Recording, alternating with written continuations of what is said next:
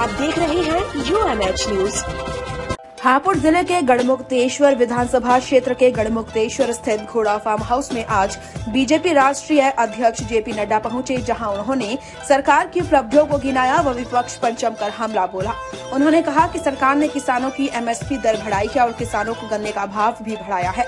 उन्होंने सपा सरकार पर हमला बोलते हुए कहा कि सपा के शासनकाल में मुजफ्फरनगर में दंगा हुआ, जिसमें बासठ लोग मारे गए। प्रदेश में पहले माफिया राज था, लेकिन अब माफिया या तो जेल में है या प्रदेश से बाहर। उन्होंने सपा सरकार को घोटालों की सरकार कहा। उन्होंने कहा कि 2022 में महिला किसान युवा सभी की जीत होगी और जिन्नावादियों को बहुत बड़ा तमाशा लगेगा। उन्होंने कहा कि सपा सरकार में 15 लाख लैपटॉप की जगह कुल 6 लाख लैपटॉप बांटे गए। सरकार ने लैपटॉप वितरण में भी घोटाला किया, लेकिन हमारी सरकार एक करोड़ से अधिक युवाओं को लैपटॉप और टैबलेट देगी। इस दौरान मंच पर उमेश राणा, जिलाध्यक्ष, जिला पंचायत अध्यक्ष, रेखा नागर, केंद्रीय मंत्री संजीव बालियान आदि मौजूद रहे।